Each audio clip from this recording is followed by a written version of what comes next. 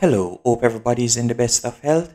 In this video, we'll be checking out how much does the YouTube channel Watch JR Go make. To get some statistics on his channel, we'll be using Social Blade.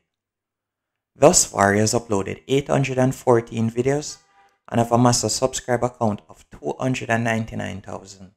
And his video views to date is 63,860,352 and his channel was created back in September 17, 2006. And to get an estimate of how much he's earning, we'll be using the YouTube money calculator.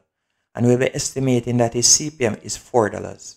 And by the way, the CPM stands for cost per thousand views. And this is the amount of money that a YouTuber gets paid for every thousand views that a video gets.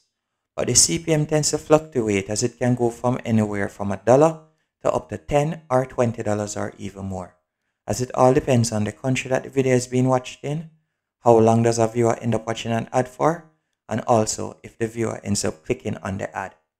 For instance, if a video is being watched in America, Canada, the United Kingdom, or Australia, it will have a much higher CPM rate compared to being watched in the Caribbean, Pakistan, or India.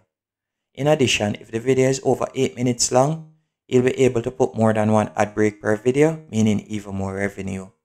But with at least one ad break per video and an estimated CPM of $4 and his daily view count being 102,000, you'll be earning $408 per day.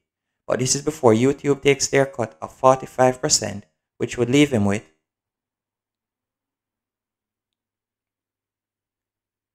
$224 and for the month he'll be earning $6,732 and for the year $80,784.